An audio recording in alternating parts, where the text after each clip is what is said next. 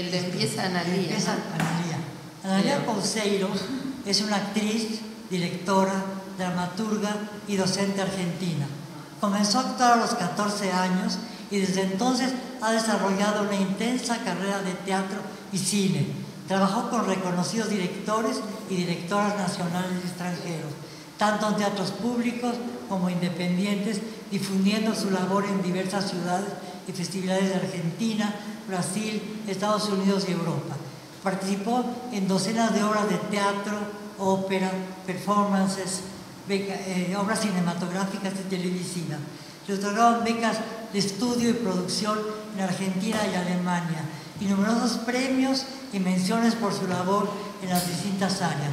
Es docente en el ámbito privado y profesora titular de dos cátedras en la Universidad Nacional de Bellas Artes. Me siento totalmente humillada por esto.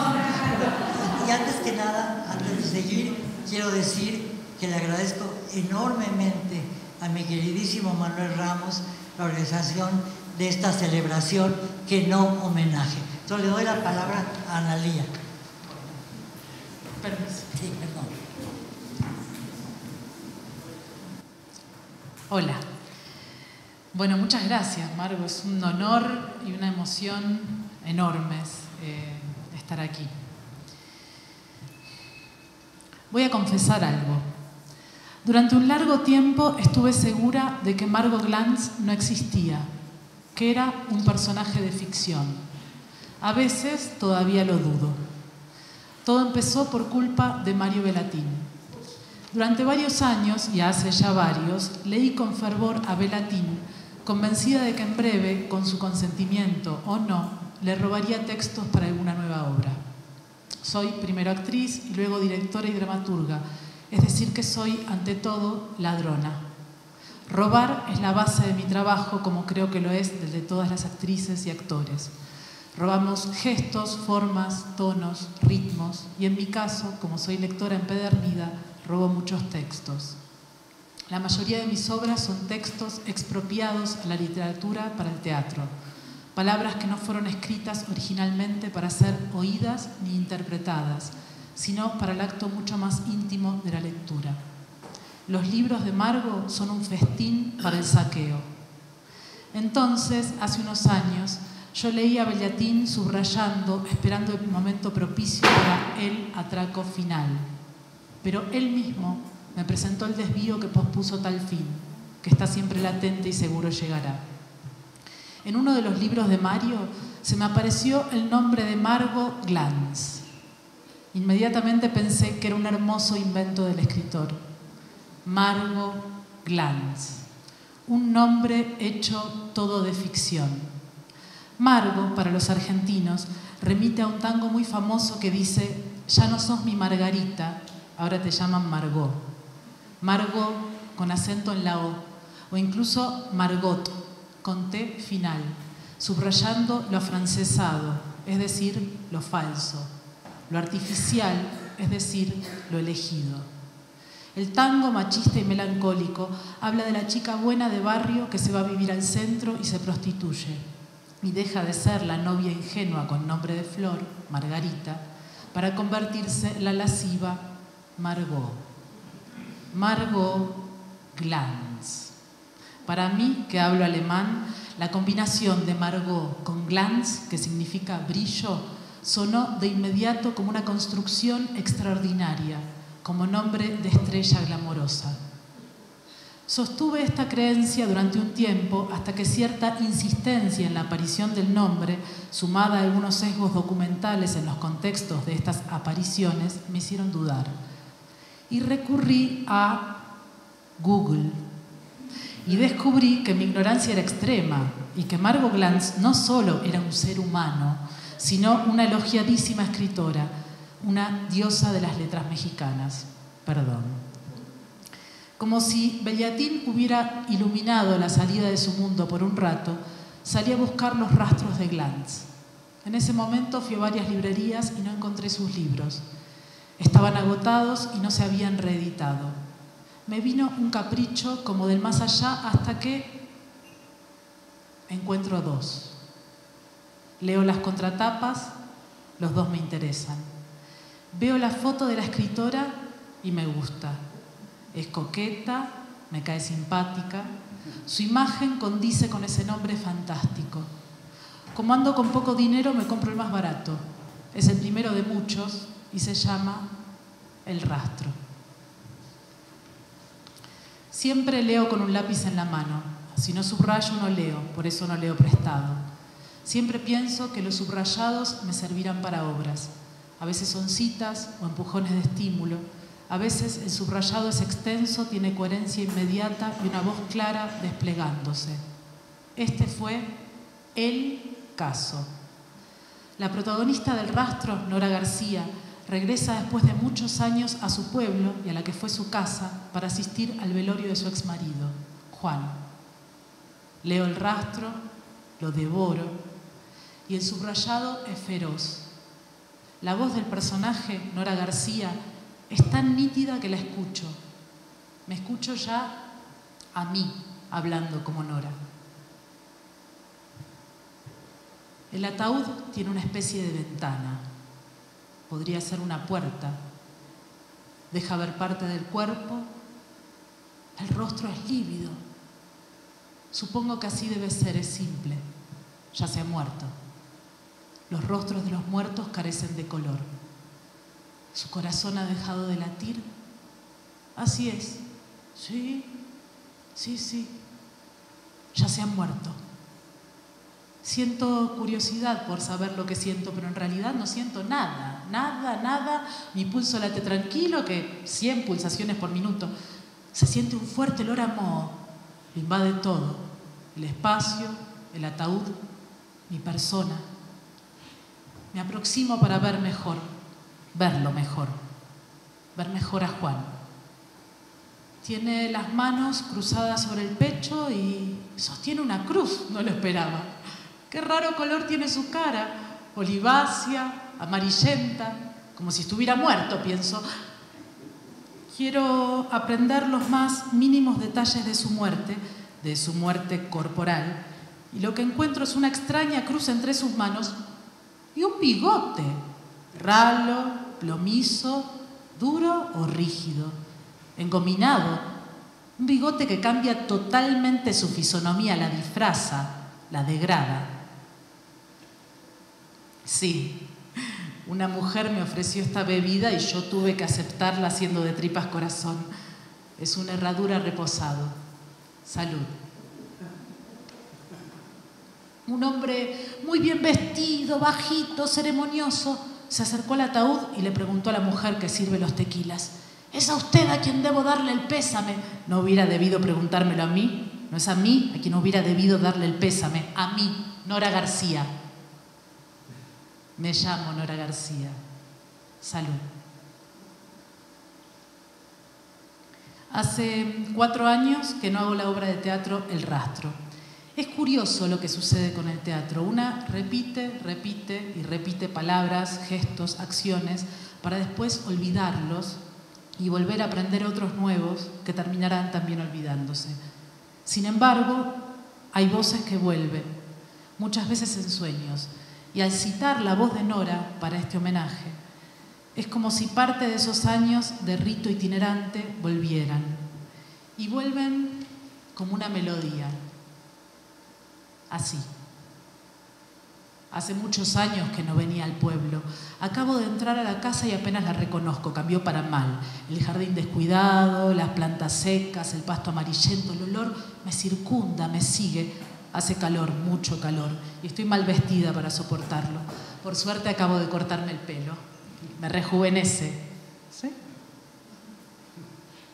Me llama la atención la abundancia de bigotes, ásperos, rígidos, crecidos, despeinados o bien alineados, chiquitos, largos, rizados, claros, castaños.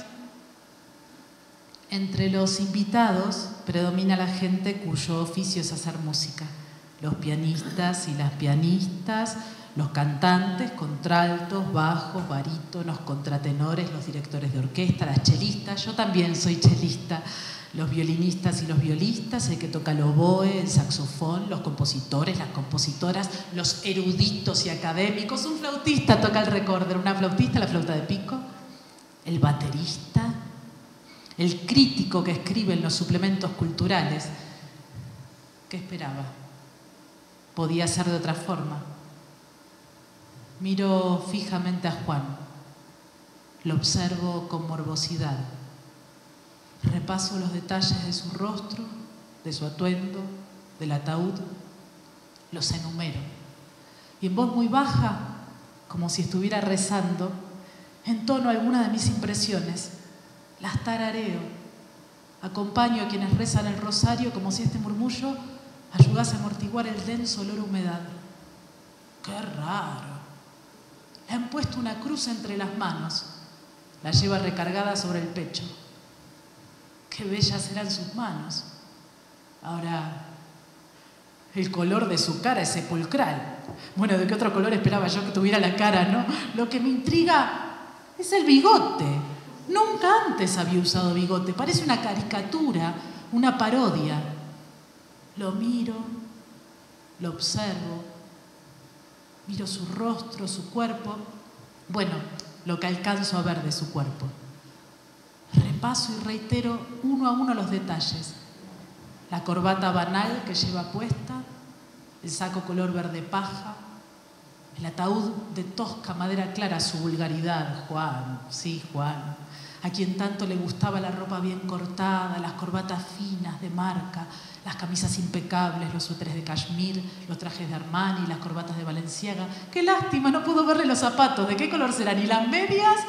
¿Me estoy volviendo estúpida? Después de leer la novela El rastro, le comenté y contagié mi entusiasmo a Alejandro Tantanian, director con quien venía trabajando. Y enseguida ella formó parte de la aventura. Sin embargo, pasaron un par de años. La idea quedó, como tantas, en un cajón de mi escritorio y de mi mente. En el año 2002 nació mi segundo hijo y al poco tiempo nos enteramos de que Margo estaría en Buenos Aires y decidimos contactarla.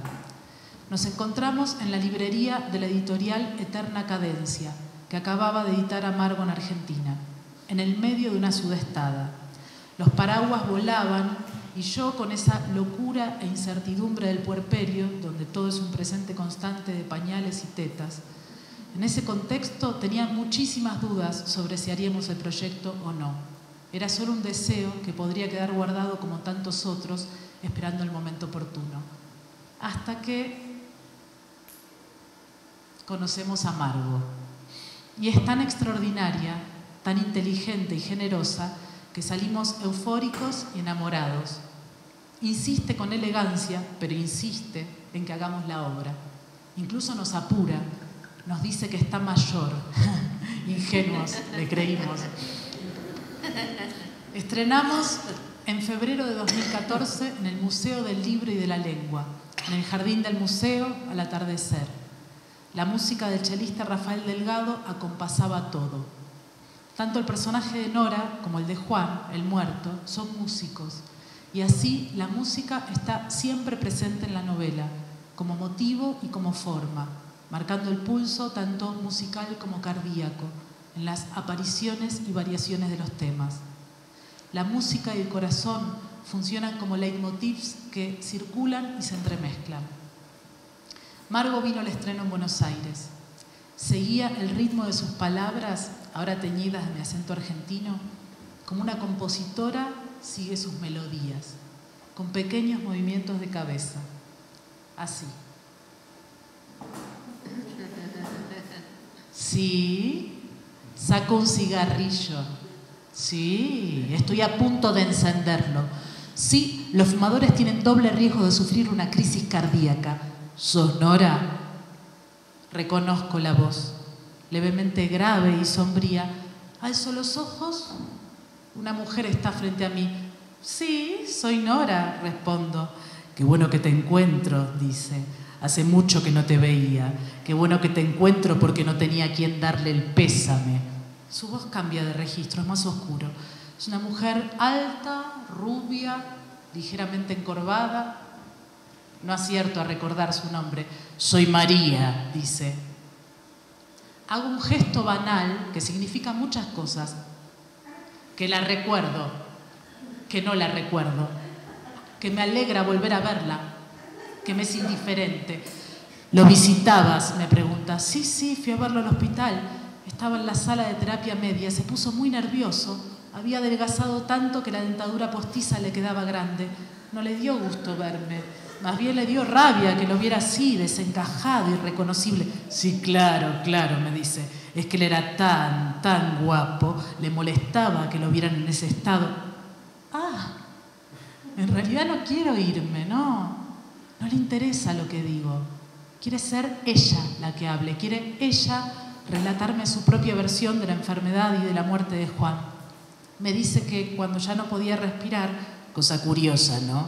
Empezó a usar bigote. Ah, me habla de que le faltaba la respiración, de que se ahogaba, de su marcapasos. Uno de sus inventores fue Favaloro, del tanque de oxígeno que tenía que transportar a todas partes, del trombo que se le fue al pulmón, de la punción en la pleura para drenar el agua, del intenso dolor que eso le había causado, del sofoco grande que estuvo a punto de matarlo y el cansancio, la depresión, el suero, las agujas, los médicos, las medicinas, el marcapaso, los fibriladores en caso de urgencia extrema, la angioplastía El personaje de Juan ha muerto de un infarto, lo que genera en Nora una larga serie de pensamientos en relación al órgano del corazón, a sus lecturas poéticas, a los mecanismos fisiológicos que condicionan.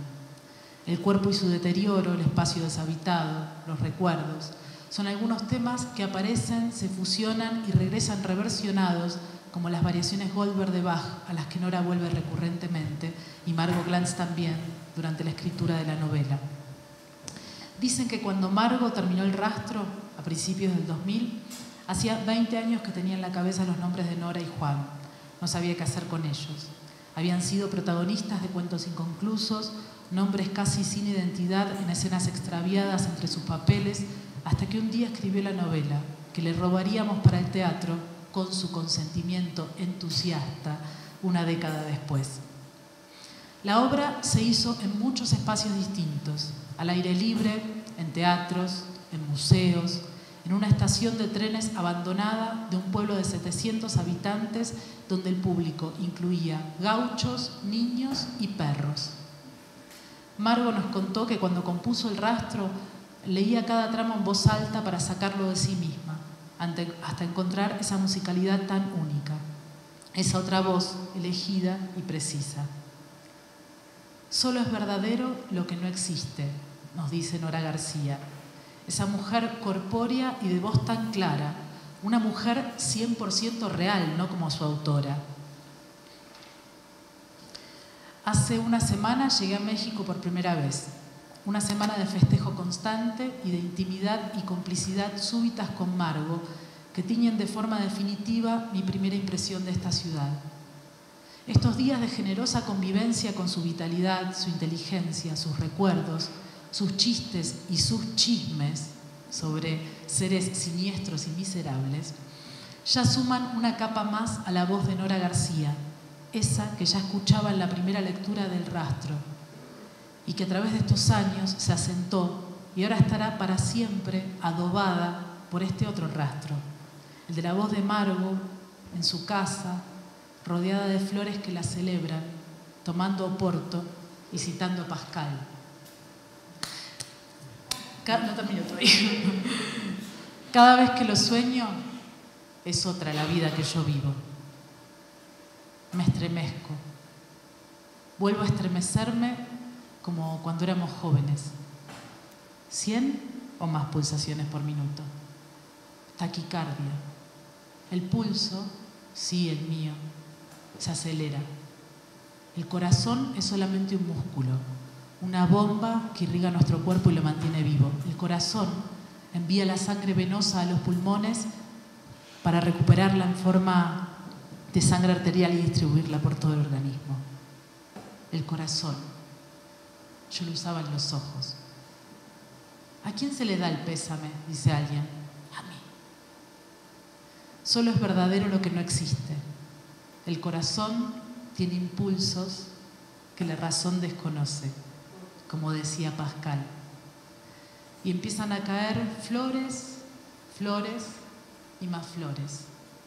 Gladiolos, rosas rojas, rosas blancas, rosas amarillas, margaritas, claveles, estrellas de Belén, alcatraces, nardos. Feliz cumpleaños, muchas gracias y larga vida a Margot Glantz, la del nombre fantástico que brilla como una piedra preciosa.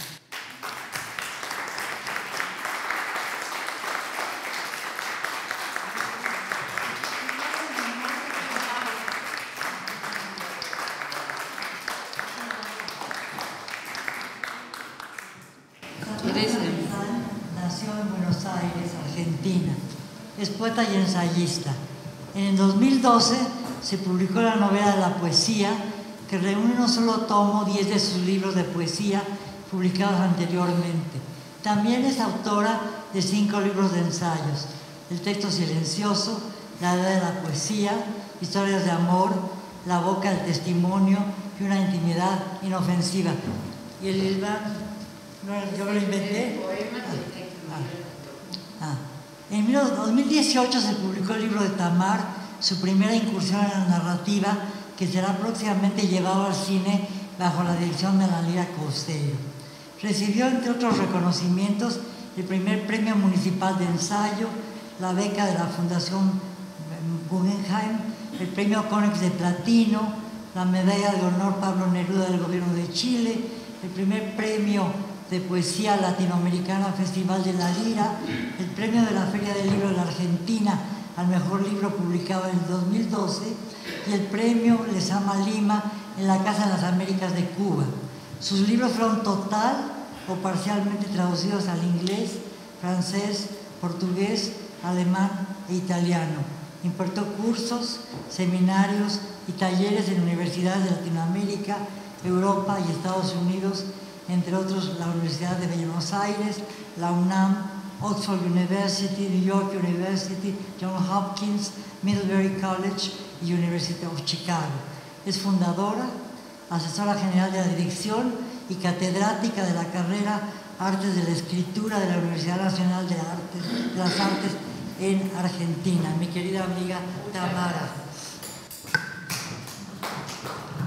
Bueno, antes que nada, lamento ser la verduga que lo saque de la función de teatro y los ponga así este, a la fuerza en la, en la pesada biblioteca literaria, pero es lo que hacemos, ¿qué va a ser? Tenemos eso, Analía tiene otros recursos. Bueno, antes que nada, Margo, agradecidísima por la invitación y quería decirte que agendes para dentro de 10 años invitarme así voy juntando millas, porque puede llevar 10 años. Este, y otra cosa más, una última y empiezo. Eh, Sara dijo algo de que Mario, que yo estaba esperando algo de Mario, y efectivamente, no, pero no sé si es lo que tú ya sabías, lo de los títulos. No, ella lo dijo así como una inspiración que tuvo, pero este aquí que Mario y yo compartimos sin saberlo el título de nuestros trabajos, solo que a él se lo publicaron y a mí no porque a nosotros no nos pidieron títulos. Pero el título es La Onda Amargo, así que bueno, La Onda Amargo. El Margo que escribió lo de la onda es una mujer, me dijo Héctor Libertela en modo telegrama, para no gastar tanto en la costumbre llamada de larga distancia. Él era mi marido y había viajado desde Buenos Aires un mes antes que nuestra hija de 10 meses y yo, con el fin de dejarnos preparado el terreno para el aterrizaje. Corría 1979, era la nefasta época de la dictadura militar argentina y habíamos decidido emigrar. Gustavo Sainz, con quien Héctor había convivido un año en el legendario Writing Program de la Universidad de Iowa, que era de un año, creo que ahora existe, pero es cortito, había, le había escrito Gustavo contándole que lo habían nombrado director de Limba, y ofreciéndose a ayudarnos con alguna chamba y sobre todo con la visa. Fue así como cuando al otro día de su llegada al DF, Héctor entró a las oficinas de Gustavo en la Torre Latinoamericana, lo encontró charlando con Margot Glantz. Para nosotros, el supuesto varón que había hecho la selección de los textos, pero sobre todo que había escrito ese brillante estudio preliminar de onda y escritura en México, el libro que siglo XXI publicara en 1971 y que en Buenos Aires leíamos y releíamos con admiración.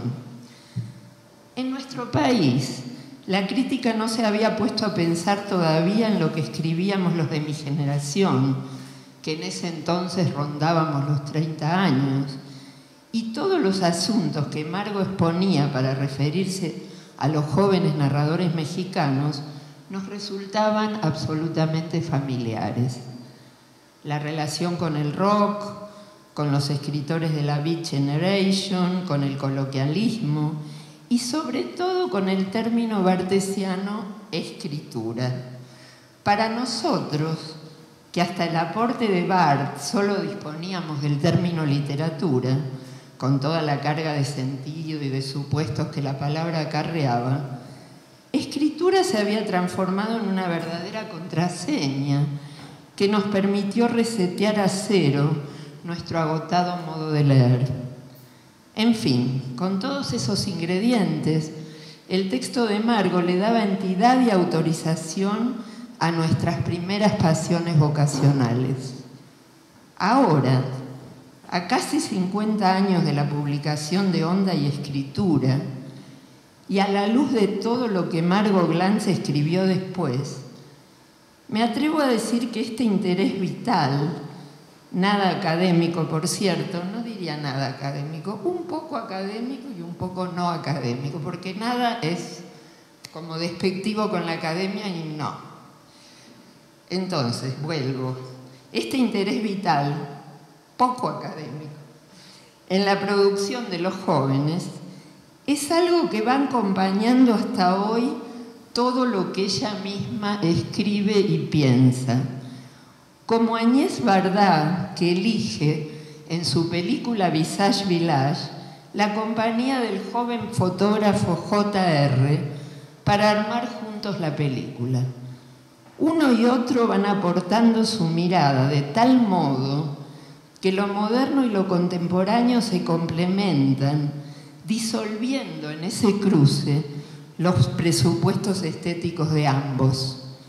El resultado es una obra de arte sin fecha, no porque se aleje de su tiempo, sino todo lo contrario, se vuelve tan actual que deja atrás lo que del pasado es pura cronología.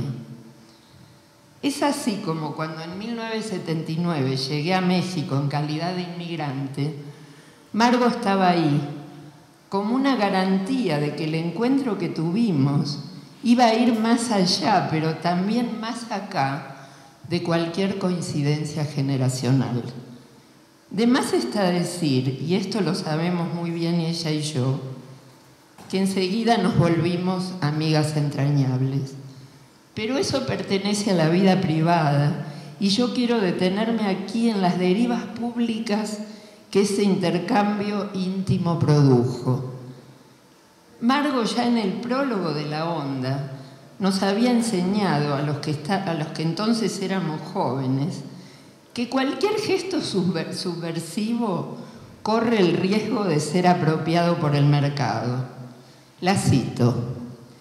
El establishment intenta corroerlos, corroerlos minándolos desde adentro, copiando sus vestimentas, liberando aparentemente la convención de la moda, destruyendo el marco de lo, el marco de lo decent en los ropajes, en las costumbres, abriendo la pornografía al mercado, vendiendo en los department stores los disfraces desteñidos que los hippies ostentaban como símbolos de su singularidad, elevando a millones las, cifras de los discos en que rugen los animals o se masturban los doors, reproduciendo con toda la potencia de la electrónica los alaridos de los Mothers of Invention, difundiendo las declaraciones de John Lennon que niega el poder de unificar a los jóvenes que en un momento dado pudieron haber tenido los Beatles, industrializando la destrucción de la droga,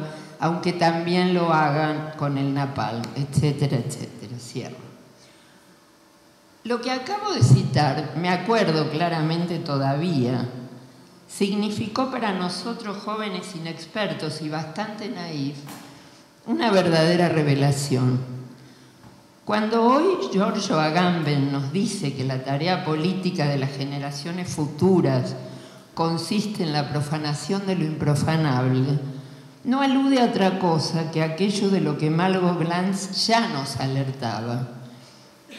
Y ella, diez años después, vuelve a poner el reloj en hora. La onda diez años después, epitafio o revalorización, se titula un ensayo que escribe en el 81, perdón, y que comienza desplegando una cantidad de preguntas que no pretenden tener respuesta y que de hecho no difieren de las preguntas que acompañarán a la autora en todas sus reflexiones posteriores. Por ejemplo, escribir dentro de la onda sería ingresar dentro de un discurso narrativo que nos colocaría de inmediato y solo por estarla escribiendo en un esquema de rechazo a valores anquilosados y descubrir una nueva forma de entender la realidad, la realidad, lo que discutíamos el otro día. o estar en la onda sería captar auditivamente un nuevo lenguaje que entra directamente por el oído, pero grullada pone entre guiones, y que asume una relación más carnal con el mundo exterior. Y la irrupción limítrofe de la edad, la de los 30 años, la del adulto, la que nos sumerge de nuevo en lo establecido, en lo burgués, ¿le exigiría a la onda ser solo expresión de la chaviza? Y de ser así, esta literatura de jóvenes, los chavos, ¿no acabaría al entrar en la nueva edad ingresando dentro del establishment que ha tratado de destruir? Con el humor ácido, inteligente y transgresor que la caracteriza, Margo lanza estas preguntas-respuestas como dardos para una reflexión que interpela al lector a la manera en que lo hacen los manifiestos. Ella se manifiesta aquí para reposicionarse, enterrando al mismo tiempo que revalorizando lo que diez años antes consideró que era lo nuevo en la narrativa mexicana. Esto me retrotrae a un texto manifiesto de César Vallejo, que en 1926, en su exilio parisino, excluido o autoexcluido de las vanguardias de su tiempo, se preguntaba en un texto que se llama Poesía Nueva, por el valor de este tipo de poesía, a diferencia de esa otra que él llama despectivamente poesía de la novedad, y que sería la que se regodea utilizando terminología de moda, Carla ya lo dijo hoy, terminología de moda para la época. Para la época de Vallejo, la terminología de moda era palabras como cinema, telégrafo sin hilos, motor, caballo de fuerza, avión, radio, jazz band, etc. Para Vallejo no es que la poesía no pueda utilizar esos términos, pero él considera, como Margo en relación a lo que ella irónicamente llama estar en onda, que el solo hecho de ayornarse no asegura la capacidad de subversión. Vallejo lo explica así. El telégrafo sin hilos, por ejemplo, está destinado, más que a hacernos decir telégrafo sin hilos, a despertar nuevos temples nerviosos, profundas perspicacias sentimentales, amplificando evidencias y comprensiones y dosificando el amor. La inquietud entonces crece y se exaspera y el soplo de vida se aviva. Esta es la cultura verdadera, este es su único sentido estético y no el de llenarnos la boca con palabras flamantes. Muchas veces las voces nuevas pueden fallar, muchas veces el poema no dirá cinema, poseyendo no obstante la emoción cinemática de manera oscura y tácita, pero efectiva y humana. Tal es la verdadera poesía nueva. No me cabe duda que esa irrupción en el arte de algo nuevo es lo que le interesó y le sigue interesando a Margo, y no esa perogrullada, como la llama ella, que entra por el oído y cree que a fuerza de repetir se asegura una relación más carnal, dice ella, con la realidad. Desde esta perspectiva podríamos decir que la obra de Margo es un permanente ejemplo de cuando lo nuevo desecha lo meramente novedoso y se actualiza a pura maduración. Narradora tardía, las genealogías, que es su segundo libro, pero es el primero que entró realmente al mercado, ¿no? Es justamente de 1981, diez años después de la publicación de La Onda. Entonces, la narradora tardía, ¿no sería desacertado arriesgar que ella misma es parte de aquella primera onda y que de ahí en adelante seguirá perteneciendo a todas las ondas que vinieron después, siempre y cuando se entienda estos movimientos como productores de vida nueva y no de repetición novedosa. Entonces, tengo que llegar a la conclusión de que el varón que nosotros creíamos era el crítico que nos ponía en contacto con el movimiento de jóvenes narradores mexicanos, fue la única mujer que de un modo u otro podemos identificar con ese movimiento, porque los que conformaban la onda eran todos hombres, claro, aunque debo decir que en ese momento eso todavía no nos llamaba la atención, esa desproporción de género nos resultaba natural. Hoy, cuando ya podemos, gracias a los enormes avances del movimiento feminista y de los estudios de género, a los que Margo siempre estuvo sumamente atenta, entrar en relación con muchos más libros escritos por mujeres, puedo decir que cada vez que viajo a México, me voy con un sobrepeso de nuevas ondas literarias que me recomienda Margo y casualidad o no, la mayoría suelen ser mujeres. Leí a Guadalupe Netel, a Valeria Luiselli, a Verónica Gerber, a Daniela Tarazona, entre otras asombrosas narradoras mexicanas, gracias a Margot Blanc. Y en ese sentido no me sorprende que, por ejemplo, el libro de Margot, Simple Perversión Oral, de 2014, tenga un prólogo de Valeria Luiselli porque si Margo prologó a los chavos de la onda en 1971, ¿por qué una chava, que ya no lo es tanto, por supuesto, no iba a poder prologar a Margo en 2014? Según Valeria, Margo siempre está de viaje y es eterna. Y acá voy a citar algo que ya se citó hoy. Para afirmarlo se inspira en un poema de Luis Felipe Fabre que anuncia que un día Sor Juana volverá de su tumba y se devorará a todos los sorjuanistas, salvo a Margot Glantz, porque ella, cito, andará de viaje y es eterna. Respecto de estas dos características de Margot, yo diría que como Agnès Varda, que en este viaje a través de los pueblos franceses, acompañada del joven fotógrafo, va haciendo surgir su película, Margo viaja atravesando su propia obra y así es como eterniza el tiempo de la acción. Pero que quede claro que ella no lleva a cabo esta operación para hacerse la joven, sino todo lo contrario. Siempre exhibe su edad como una pancarta, como un gesto político ante el tiempo. Soy 132 de la tercera edad o quizás de la cuarta, tuitea el 7 de junio de 2012, a poco de haberse constituido el sorprendente movimiento estudiantil Yo Soy 132, que enfrentó desde YouTube la candidatura del entonces presidente Peña Nieto. La simpatía de Glantz por el movimiento se va acentuando cada vez más. El 7 de julio afirma, fui, soy, sigo siendo, seré 182.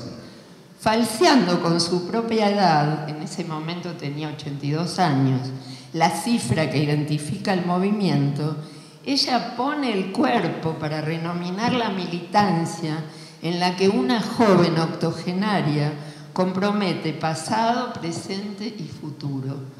El tuit ahí se redimensiona como un acto de vida. Por mi parte, identificada con la onda amargo, ese movimiento que no para de empujarme hacia la vida. Hoy quiero decir acá que yo también fui, soy, sigo siendo, seré 90, porque esto es lo que aprendí de mi amiga y lo que hoy, desde Buenos Aires hasta México, que es mi segunda patria, vengo a compartir y a festejar con ustedes y también con ella, claro.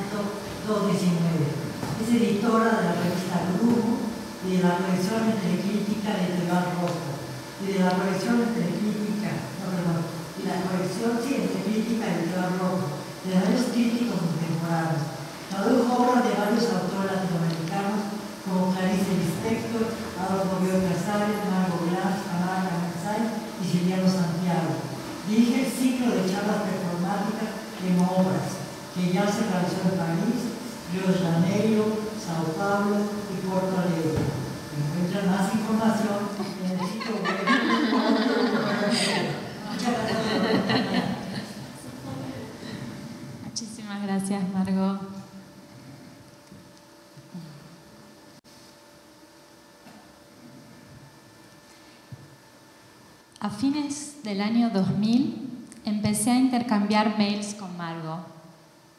Ese año leí por primera vez un libro suyo, Apariciones. En Brasil no estaba publicada su obra. Yo quería armar una colección de escritoras hispanoamericanas traducidas al portugués. Quería atravesar fronteras. Quería conectar las dos lenguas que me componen Quería conocer mujeres escritoras. Quería escribir con ellas. No me acuerdo cómo me llega esta edición. No sé si la compré o si me la regalaron, si la encargué desde Brasil o si la compré en Buenos Aires. Me pregunto qué caminos habrá recorrido de esta ciudad a Río de Janeiro. Me acuerdo, eso sí, de cómo llegué a Margo estaba traduciendo novela negra con argentinos de Luisa Valenzuela para empezar la colección y buscaba un libro para seguirla. Ella me habla de apariciones que había sido publicado cuatro años antes, lo leo y me comunico con Margo. Lo releo 20 años después para rehacer los pasos de una traducción y de una amistad, de mi enamoramiento por la escritura de Margo ella vino dos veces a Brasil después de la publicación de Aparições. Una para su presentación en el 2002 y un año después para un congreso en la ciudad de Diamantina, en Minas Gerais. Me acuerdo de muchas escenas de estos viajes. y de otros que vinieron después. Nos encontramos en distintos lugares del mundo porque junto con la literatura compartimos la errancia. En el 2017, Margot se convirtió en la primera mujer honoris causa de la Universidad de Alicante. Se organizó allí un encuentro dedicado a su obra y yo hablé sobre la traducción. Era la primera vez que la releía después de traducirla, 15 años antes. En esa ocasión hablé sobre algunas cuestiones que surgieron, que surgieron al traducir, como la decisión de alternar en portugués entre los pronombres você y tú, como en el castellano rioplatense con el voceo, el você en gran parte de Brasil y específicamente donde vivo yo, entre Río de Janeiro y San Paulo, es la segunda persona de uso corriente e informal. Sin embargo, no sería usual esa forma en los fragmentos en que la protagonista de apariciones encarna la voz de las monjas en clausura del tiempo colonial. Entonces lo que hice fue usar los dos pronombres distintos en portugués, você y tú. Les leo dos fragmentos contiguos del libro en portugués donde se nota esta distinción.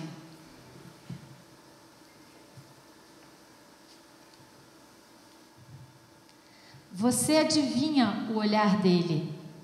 Deitada sobre a cama, você sente o olhar dele nas suas costas. Ele se inclina em sua direção, enfia o dedo entre seus lábios e começa a mexer. E você se acomoda a esse ritmo. Você adivinha o olhar dele sobre o seu corpo. Ele lhe faz sentir que suas formas são perfeitas, que suas nádegas são redondas, coradas, como as de um querubim. Esse querubim que certa vez viram juntos na igreja, de costas, detido em um movimento alado, imperceptível, como de seu quadril, se mexendo calmamente ao ritmo do dedo dele, bem dentro de você, até que seus lábios se umedeçam. Os olhos do corpo. Está de tal jeito que não chega a pensar nada de bom. Custa-lhe caro o negro descanso procurado. É sem fim a multidão de demônios que, dentro e fora dela, tentam possuí-la. Ela os vê com os olhos da alma, ela os vê mais claramente que com os olhos do corpo. Então, pede ao Senhor, da melhor maneira possível, lhe pede que a ajude vai salmodiando frase após frase. Ó prodigioso Senhor, tua amante, esposa, te roga. Ó tu, consolo dos aflitos, serve-me de asilo, libera-me de todo mal. Não permitas que os demônios me sigam, não permitas que me tentem, não permitas que me seguem. Esa distinción pone de relieve la estructura del libro, que la contratapa de la primera edición mexicana subraya de la siguiente manera. Una historia de amor contada dos veces, de manera paralela, una vez a lo sagrado y otra a lo profano. Después de comentar esto en ese otro texto de Alicante, yo abrí un paréntesis y recordaba una escena. En el 2002, cuando Margo estuvo en Brasil para presentar el libro, organizamos una charla en una librería de Río Janeiro. Para introducir una de las preguntas que yo había preparado, citaba esta contratapa. Cuando le pasé la palabra, antes de contestar, Margo, muy típicamente, aclaró que la había escrito ella. Se despejaba así un aspecto de apariciones que también se hacía evidente en el título del encuentro en Alicante, narradora heterodoxa, ensayista disidente, y que estuvo presente hoy también en la organización de las mesas y en los textos que presentamos. Una escritura que tiene una duplicidad, una doble valencia, que es un modo de pensar y crear espacios comunes para la literatura y el ensayo. Esa marca aparece en otro texto que acompaña el relato, los agradecimientos, en los cuales se nombra, entre otros, a Pasolini, a Duraz, a Bataille, y se explicita que a veces se utilizaron textos de esas autoras y autores de manera literal. Podría seguir recordando escenas y diálogos, fragmentos en que Margot se vuelve personaje de un relato en que se mezclan la literatura, la amistad, la traducción, los viajes, el amor. Quién sabe en algún momento lo llego a escribir. Pero ahora el libro mismo me llama, apariciones me atraen. Me acuerdo de una frase, no cejo, insisto, sigo escribiendo. Quiero encontrarla y la encuentro al principio del relato. Decido leer primero ese rastro que en el libro está en los fragmentos con letras cursivas, el rastro de una escritura. Leo. No importa, pienso, poniendo de inmediato los dedos sobre el teclado. No importa, basta con que escriba, la escriba. La escritura como algo táctil. Me parece que no lo había experimentado así hasta leer este libro. Referirse a un metalenguaje, a una reflexión sobre la escritura, es alejarse de una experiencia de lectura que pasa por el cuerpo. Leo un fragmento titulado Nota a Nota, que me quedó grabado y que recuerdo muy a menudo. Dos mujeres le hacen masajes a la protagonista. Las manos se mueven ligeras sobre tu espalda, te producen una sensación curiosa, la de descubrir de otra manera ciertas partes de tu cuerpo. El recuerdo de esa escena no se grabó en la memoria, o mejor, se grabó en la memoria del cuerpo, y el texto vuelve a mí con la imagen de dedos que son como, los de una pianista, que forma nota a nota la melodía, precisa, clara. La yema de los dedos que tocan el cuerpo son como las que tocan las teclas del piano y también las letras del teclado. Se lee y se escribe con el cuerpo. Leo, Siento el placer de escribir en las yemas. La escritura es esto, la ciencia de los goces del lenguaje, su Kama Sutra. De esa ciencia no hay más que un tratado, la escritura misma. Esto es muy preciso para hablar del libro de Margo. El texto goza y hace gozar. Cuando gozo, cuando el amor me rinde, cuando llego al éxtasis, quiero volver a escribir al lugar de la encarnación. Me gusta que esa cita de Barthes se dirija a una segunda persona. Le texte que vous écrivez. Es algo que sucede varias veces en este libro, para que las palabras hagan lo que el texto está diciendo.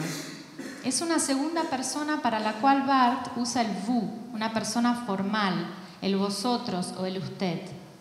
Nicolás Rosa, en la traducción que cité recién, usa el usted. En portugués de Brasil es una decisión difícil. Para la segunda persona formal usamos o señor o a señora. Es lo que decide hacer el traductor Jaime Ginsburg, aunque suene bastante raro, sobre todo hoy día en tiempos de lenguaje inclusivo, repetir varias veces a lo largo del texto o texto que o señor escribe. En todo caso, estas cuestiones de traducción, como también la que mostré antes con el tú y el vosé, hacen ver que la segunda persona produce extrañamientos. El modo como descoloca a la traductora o al traductor pone en evidencia una relación compleja con el otro. Cómo nombrarlo, nombrarla, nombrarle, cómo dirigirse, acercarse a quien amamos, odiamos o deseamos o todo a la vez.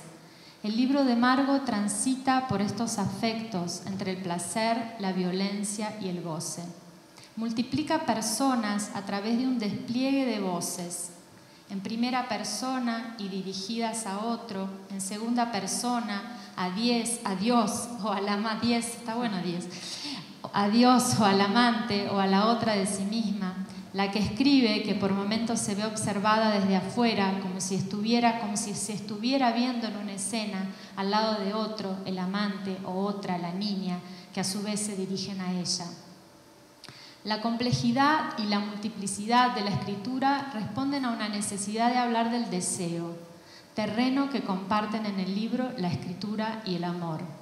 Se escribe con el cuerpo y en el cuerpo como se vive también el amor al borde del abismo.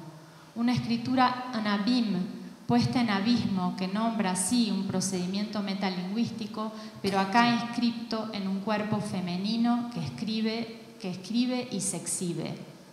Un cuerpo que mira y se deja mirar, El mirar, la mirada, los ojos vuelven insistentemente en el libro, como en los fragmentos que les leí al principio de Los Amantes y de Sor Lugarda, y en varios otros, cuando la protagonista mira a la niña o se deja mirar por ella, o cuando mira un cuadro que la fascina porque de él se borró la figura de una mujer. Los ojos revelan un deseo, dice el título de uno de los fragmentos en que leemos. Te intriga su ligera sonrisa, sus labios delgados, color de rosa, la mirada ambigua en sus ojos sin maquillar. El texto encuentra un cuerpo, escribe Margo con precisión en otro título de un libro que acaba de publicarse en Argentina. Un recorrido de lecturas atento a los detalles del cuerpo con una mirada femenina y fragmentaria. En este libro, escribe Margo, he privilegiado por lo menos algunas de mis obsesiones, fragmentos del cuerpo, las manos cuando escriben, los ojos cuando leen, además del proceso fisiológico vital que a menudo olvidamos, la circulación de la sangre y su inquietante presencia material. Las obsesiones se transmiten de un libro a otro y se transmiten a sus lectoras y lectores cuando, como decía Bart, nos sentimos deseadas y deseados. La escritura de Margo nos desea y nos hace desear, leer, escribir. En estos años fueron muchas las obsesiones de ella que se hicieron mías. Por nombrar algunas, George Perec y las series de Yo me acuerdo, además de otras escrituras fragmentarias que conocí a través de sus libros, como la de David Markson. Hice mías sus genealogías, también fragmentarias, un modo de acercarnos a la memoria con un ejercicio de escucha de las voces de otras y otros. Entré a Twitter, que con Margo se vuelve un modo de ver el fragmento en acción en la cultura y la política contemporáneas, y de ahí ir hacia el libro, con Por mirarlo todo nada veía, que empecé a traducir a principios de este año. Mientras traduzco me hago acompañar por Bach, como para volver a apariciones y a la mujer que escribe como si tocara el piano. Se comparte la escritura, se comparte el amor. Así es como se repite una escena de nuestra amistad. Todas las veces que nos vemos o que hablamos por teléfono por WhatsApp, está la literatura, están los libros e invariablemente Margo quiere saber. ¿Y los amores cómo andan? No sabía cómo terminar estas líneas, quizás por no querer terminarlas. Entonces me acordé de una escena en Alicante, en la ceremonia de honoris causa.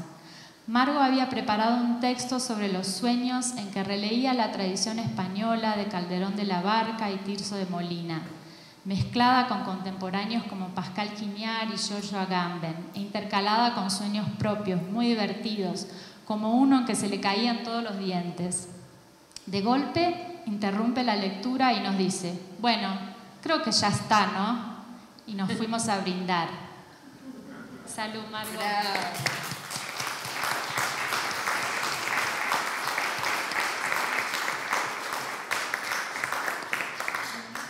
Pues muchas gracias. Ha sido un día, sobre todo para mí, imagino que algo para ustedes también. Estoy muy contenta de terminar esta mesa después de que hemos escuchado a muchos amigos muy queridos y por fin a mis extraterrestres de Argentina y. Gracias, muchas gracias.